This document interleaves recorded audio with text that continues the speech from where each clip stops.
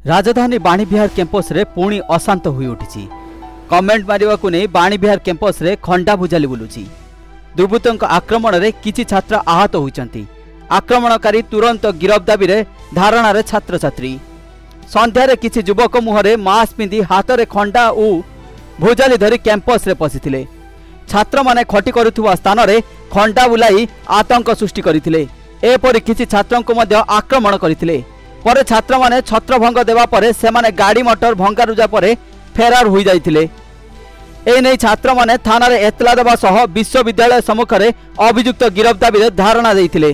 police ঘটনার তদন্ত করুবা বেড়ে আক্রমণকারী মধ্যে ভিএস নগর অঞ্চলের কিছু যুবক সামিল থাকা জনাপড়ি